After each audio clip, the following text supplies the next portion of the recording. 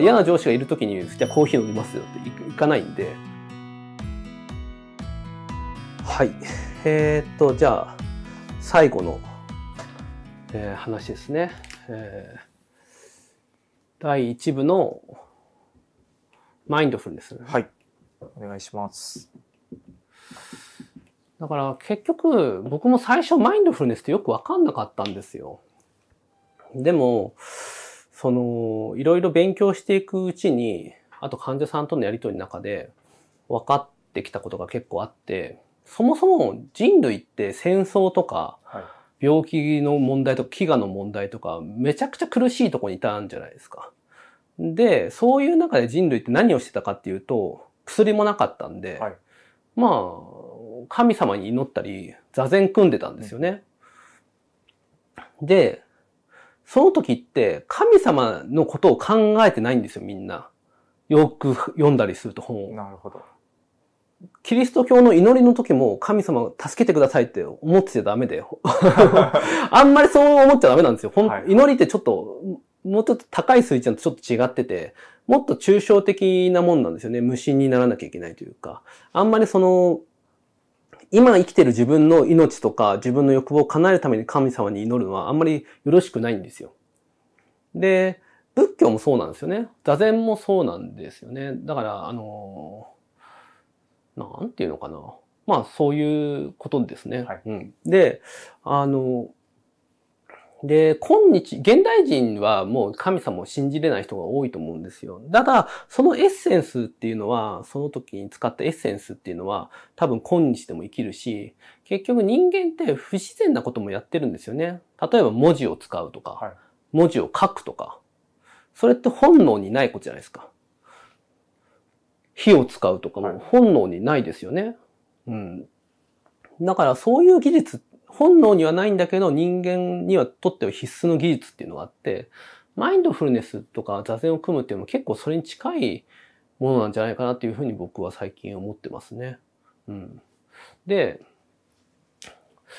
基本的には、その、こう、まあ目を閉じても閉じなくても半開きでも何でもいいんですけど、まあ何も考えずに呼吸に集中する時間っていうのを作るってことですね。まあ座り方は何でもいいですね。まあ手を押さえて。日本人ってその重心がへその下ぐらいにあるんで、はい。へその下あたりに手を重ねてこうやっているのが、目を閉じているのが結構安定するみたいですけども、まあ欧米の人は重心がもうちょっと高いんで、こう、こっちの方が安定するかもしれないですけど、まあ別に何でもいいと思います。で、こうしてるとなんかいろいろ考えるんですよね。まあ、なんかこう、こんなやりとりしてたなみたいな。あの喋り方良くなかったかなとか考えちゃったりとかするじゃないですか。で、こう考えててぐるぐる回ってるんですけど、患者さんって同じことずっと考えてるんですけど、こうじゃなくて、あ、いかんいかんと思ってこっち側に戻るんですよ。はい。はい。で、また呼吸に集中だってやるんですけど、呼吸に集中してもまた思い浮かんでくるんですよね。あ、子供の時ああだったなとか、お父さん怖かったなとか、まあ考えたりぐるぐるしちゃうんですよね。で、ぐるぐるしちゃうけど、あ、いかんいかんいかんと戻る。で、またこう、今度は仕事のこと考えたりとか、で、あ考えてて、あれやんないとな、あ、いかんいかんと戻ると。だから人間って本当に無にはなれないんで、うん。まあ基本的にはこういうやり方を繰り返しながら、できるだけここにいる時間を伸ばすというか、刺繍で置けるその、こう糸が真ん中に寄ることによって中にちゃんと物体ができるような感じで、ここに置くっていうのが、まあ、基本、マインドフルネスの基本ですね。で、できるだけここにいる時間が長くなるっていうのが、まあ目指す理想かなと思います。で、この感感じ方とかって人によって結構違うんですよ。体感的な理解なんで、あの、人によって捉え方が違うんですけど、これは別にその、僕のやり方じゃなくても、その人なりのマインドフルネスがあればいいと思うんですけど、まあ、あの、まあ、り参考にしてもらえればなと思います。で、こういうことをしてるとね、そのうちこう、手足が温かくなるとか、感謝の心が生まれるとか言いますけど、はいまあ、結果論って感じですね。真ん中にいればそうなるのかなって気がします。で、これができるとですね、だんだんこのメタ認知が効くようになるんですよね。だからメタ認知力がないと精神科の治療ってうまくいかなくて、例えばこう診察の中で喋っているときに、あなたは結構僕に対して怒ってますねって言ったときに、やっぱそれだけストレスが溜まってるんでしょうかねって言ったときに、いやいや怒ってませんよってこの中で言ったら困るんだよね。診察の中で僕がそういうふうに外側が責任言ったときに、あ、こっちに戻って、あ、そういえばさっき自分怒ってたな。ってことはこういう感じのところがあるんだなとか、この話題をしたら私は結構感情的になりやすいタイプなんだっていう自己理解が得られるんで、その、ここに戻るっていう感覚がないと結構難しかったりしますね。だから逆にこれができないと、まあカウンセリングとかがうまくいかなかったりしますね。だからメタ認知が効かないんで。だから子供とかだとちょっと難しいのかもしれないですけどね。で、あの、患者さんって、こう5分座ってらんないんですよね。目を閉じて。やっぱり不安が強かったりとか、トラウマが大きすぎて、5分座ってらんないんですよ。なので、まあ、1分からスタートしてもいいのかなっていう感じですね。だから、ここの病を抱えている人はこれができないですね。座ってられないんですよね。うん、何もしなくてもよくて目閉じて30分ぼーっとしといてよって言われても、できないんですよ。落ち着かなくて。なるほど。うん。だから、それもまた一つの健康を理解するパラメータの一つかなって気がしますね。だって別に1日10分20分ぐらい何もしない時間を作るなんて誰でもできるじゃないですか。うん、そんな忙しくたって。はいそれ、それさえなんかもったいないと思っちゃって、でも、なんていうのかな。うん、なんかそういうことですね。うん、うん、で、あとなんだっけ。まあこういうのもやっていく。で、これをできればでき、これの、その、どんな場所でもできるっていうのは結構良かったりするんですよね。はい、これができるようになってくると、今度は仕事中にやりたくないなって時にも、いや、今マインドフルネスでやろうっていうことで、嫌な仕事も、その、エクセル打ってる時にも、エクセルとかデータ入力嫌だなと思いながらも、この状態の心になればやれるわけですよ。感情がないから。うん、なるほど。で、電車に乗ってて息苦しいなっていう時にも、この状態を思い出せば、簡易のマインドフルネスができたら、電車の中のちょっと息苦しさも楽になるわけですよね。なるほど。サッカーの試合の PK の時に落ち着かない時も、この状態を思い出せばいけるわけですよ。ね。だからマインドフルネスを日頃からやっとくと、本当になんかピンチの場面でも冷静を保てるよっていうのは、この時のことを条件反射的に利用するからなんですよね。うん、で、いうこと。で、あとあれか。で、いや、そんなに呼吸はなんで効くのって言われるとですね、脳みそって、まあ、扁桃体が中心なんですけど、扁桃体って不安を感じるところですけど、はい、脳って心臓の動きとか、呼吸の動きをキャッチしてるんですよね。だから今心臓が速いってことは、緊急事態なんじゃないかと。だから、緊張感高めようとか、呼吸が速いってことは、えー、息苦しいってことだからなんか異常事態が起きてんだなってことで、脳って感覚、錯覚するんですよ。あとは、例えば、あの、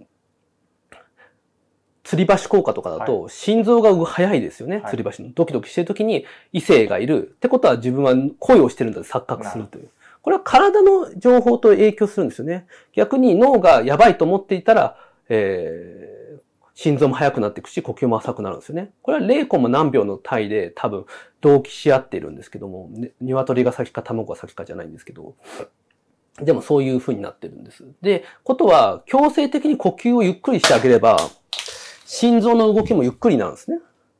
で、心臓の動きもゆっくりになれば、脳は落ち着くんですよ。で、これまでが30分かかるものが10分、10分なのが5分、5分なのが3秒とか5秒とか10秒になれれば、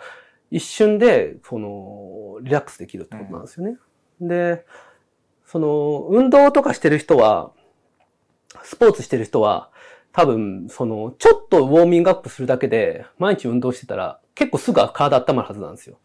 部活とかやってた時に。だけど逆に 運動しなかったりすると、走っても油汗が出るだけで全然体温まんないですよね。変な温まり方しかしないで。それは脳が覚えてないってことなので、まあやればやるほどですね、このマインドフルネスってうまくいくということになっていきますね。で、なかなかこれがつかめない人がいるんで、その、前段階として、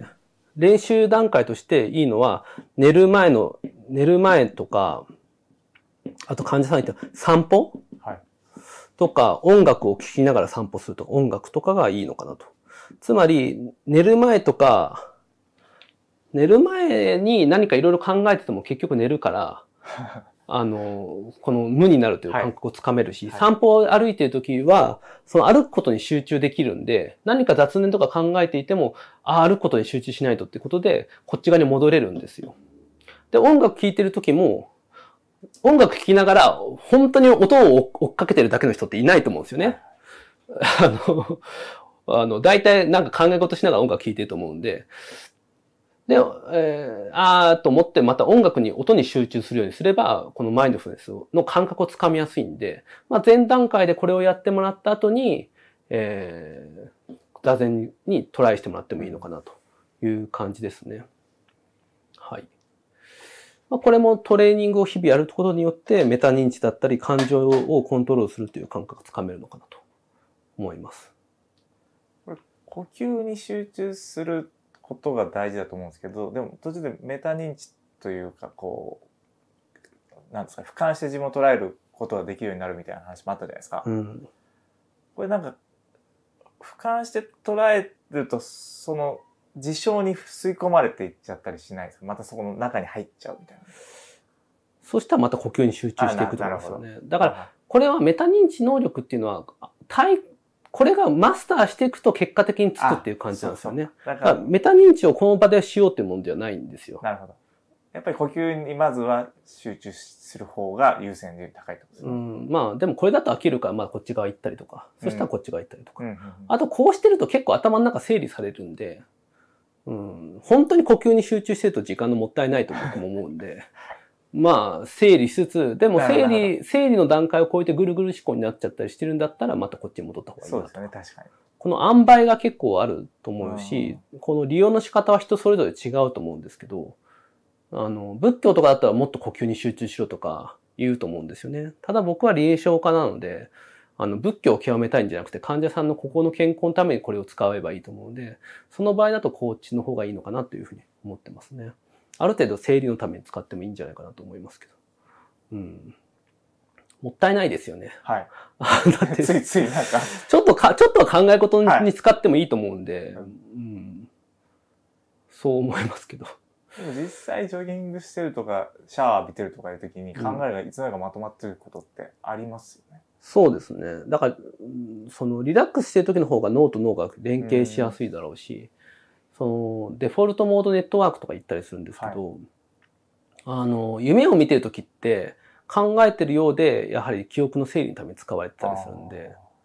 うん、まあ、ここら辺はどういうシナプスの連合なのかっていうのはちょっとまだ分かってないこといっぱいあるんですけど、ただまあ、伝統的には少なくともこれは役に立つってこと分かってるし、まあ、究極的に言ったら人によって多分つ利用方法とかって多分違うと思うんですよね。いい利用方法の仕方っていうのは。うん、だってみんなが同じだったら多分、そのキリスト教は祈りで仏教は座禅だっていうのがもっと統一されてるはずなんで。でも文化によって違う宗教とか学派によって多分その座禅とかそういう瞑想のやり方とか祈りのやり方っていうのは捉え方が違う理由っていうのは、うん、まあバリエーションがあってもいいんだろうなっていう気はしますけど。うん。なるほうんど。例えばコーヒーを飲みながらうまくいく人もいれば、サウナに入っている時にうまくいく人がいてもいいわけですか、そうですねね。でも、それだと今度はどこでもできないんですよね。ああ、そうか。だから物の力を借りて集中してるんで、確かに。できれば物がなくできれば方がいいんですよ。そうか。うん。だから弓の名人みたいなやつですよね。最初は弓を使って、はいそのマインドフルネス、武道を極めるんだけど、最後は無刀に至るというか、おうん、無給に至るという感じなんで、まあ、そういうことですね。で、でも実際使いたい、本当に使いたい場面っていうのは座禅組めないんで。で 座禅組むために僕らは生きてるわけじゃないんで、はい仏教のおおお坊さんじゃないから、はい。やっぱり嫌な仕事してる時とか、プレゼンしてる時とか、嫌な上司の前で、ここに持ってきたいわけじゃないですか。はい。うん。だから嫌な上司がいる時に、じゃあコーヒー飲みますよっていいかないんで、まあできれば、その、こう、こを意識してこっち側で、をいざ本番で使えるようにするっていうのがいいですね。うん。っていう、まあ、日々のトレーニングのあり方ですね。まあ、これがセルフケアでもあるし、本番で使える技術でもあったりするということです。はい。じゃあ、いいですかね。終わります。ありがとうございます。